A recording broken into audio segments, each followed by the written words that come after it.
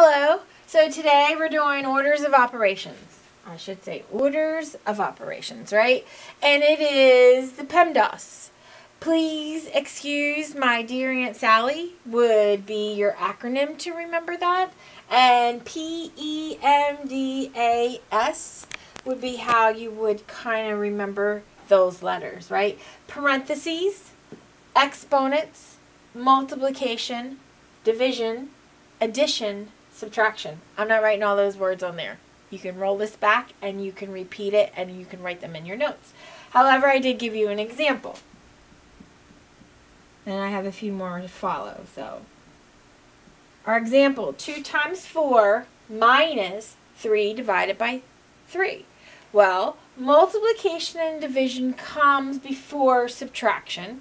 And we have division. So we got to do both of these first and then subtract. So 2 times 4 is 8 minus, bring that sign down, and 3 divided by 3 is 1. And 8 minus 1 is 7. It's as simple as that. Don't make it complicated, right? Try to follow those rules, though. You got to follow an order. And I'll show you why. But before we do that, we're going to talk a little bit about exponents because it was parentheses, and let me go back, parentheses, brackets, braces, right? They can be in any of those problems that you're going to get. But the exponent, which is the second part, the exponent means this is the exponent, right? And the exponent tells you how many times to multiply the base. This is your base. This is your exponent. And it tells you how many times to multiply it. So it would be 3 times 3, which would be 9. And then 9 to the third power. And I also put in quotes how you say it. You don't say 3 to the 2 Okay, don't do that. It's 3 to the second power or 3 squared. You'll hear me say 3 squared a lot, but 3 to the second power is good, right? 9 to the third power, 9 to the third power means you're going to multiply that 3 times. 9 times 9 is 81, and 81 times 9 is 729. And I did that on my head real quick. So they're your answers. However, on the calculator, on our calculator, there's an x squared. It's a third button on the first row. I think I've talked about this in other videos, but I don't know if you've come across them yet. And 3x squared would give you 9. And then on the calculator with the 9, shift and then there's a little play button that's in the third row. Uh, it's the second button in from the right. And then you hit the equal, and that should give you 729. And that calculator that we use is the Casio FX 260. I would suggest Walmart to buy it the cheapest, and then Target or Staples next, okay? All right, so the next thing up, uh, zero exponent, anything to the zero exponent is going to be a 1. And anything to the first power is going to be itself. Anything to the zero power is going to be equal 1. And anything to the first power is going to be itself, so it would just be 7.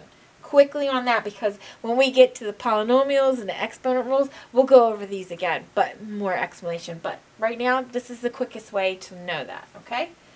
So, our next slide up, we got to write PEMDAS on our paper. And that means if division comes before multiplication, we can do division before multiplication. Or if multiplication comes before division, we can go left to right to either one of them. Same thing as addition and subtraction. Hopefully I wrote some up that we can figure that out. But right now we have 4 squared divided by 2 multiplied by 4. And division here comes before multiplication, and that's okay to do because it can be left to right, okay? But parentheses, no parentheses. Exponents, yep, first one up. 4 squared. 4 times 4 tells you to multiply that twice. 4 times 4 would be 16.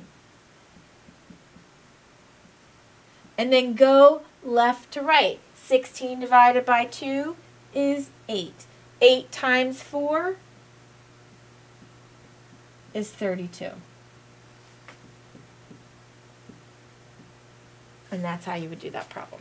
The next one up is 8 minus 6 squared plus 2 to the third power times 3. And you go, oh my goodness, that makes my head hurt. Well, let's take it in little baby steps, right? Chunk it, right? 8 minus 6 is 2. And that's 2 squared because you can't forget about that. Plus 2 to the third power. Well, 2 to the third power, you have to do exponents before multiplying. So 2 to the third power is 2 times 2 times 2, which is 8. And 8 times 3, right? Now you have 2 squared, which is 4, plus, now don't do 4 plus 8 times 3. No, no, no, no, no. You're going to do 8 times 3 is 24 and 24 plus 4 is going to be 28. And that is how you would do that. Okay? Now, if you need to go back and look at this, well, guess what? You have that opportunity to um, rewind and then do it slowly. Okay? But in the meantime, we have one more problem, and then we're going to be done with the orders of operations for regular numbers and operation stuff, okay? You're going to see this again when we get into algebra and you have the variables and the exponents and all that good googly gook that's in there, okay? So here, I put this problem up because this has brackets and parentheses, okay? So for... uh, 4 to the third power plus, and then brackets, 3 squared minus 10 divided by 2, and then minus 7 times 3. A lot of little things in the, happen in there. Pay attention to detail. It's all in the details. And understanding those. P, E, M, D, A, S. So first, parentheses. I have brackets and parentheses. So I'm going to do what's in here first. That's what these brackets mean. 10 divided by 2 is 5. 3 squared is 9 and then bring it all down.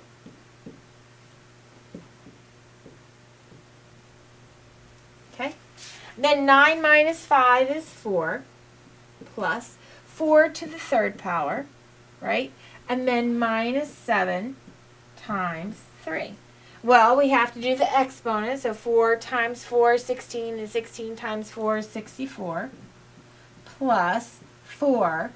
And then minus 7 times 3 would be 21.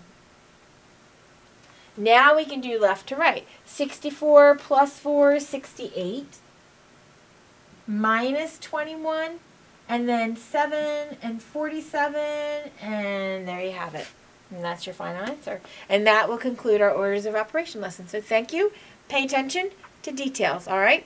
See you soon. Thanks.